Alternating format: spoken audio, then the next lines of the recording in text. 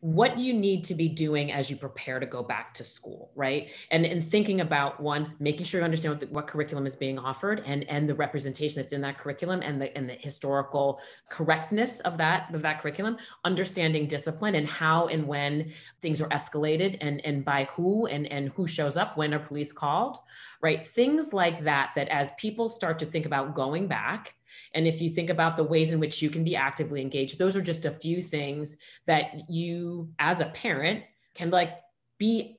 activating mm-hmm. and and be mm-hmm. questioning and be be in that space of of school administration and uh, teachers to say I have questions about these things. What what are what are just a couple of other things that parents mm-hmm. should be doing as they're thinking about understanding how to better prepare their children for school and to hold accountable the grown-ups that are in charge of those schools. The two you mentioned are critical. Know what your student uh, is supposed to know and be able to do in a very deep way and and, and also how they're learning uh, what they need to know and be able to do particularly if if their kid is can literally see themselves represented in the materials and also that the materials are um, uh, have a critically conscious way of looking at our history right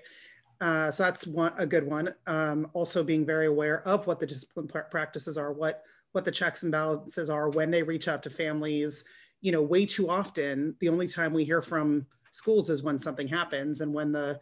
is when the consequence is being dispensed, uh, as opposed to real partnership around the, the non-academic skills, which which are always two steps forward, one step back. So really understanding what those processes are and how to partner with the school uh, and and not waiting frankly until you get the call that you know someone's in the office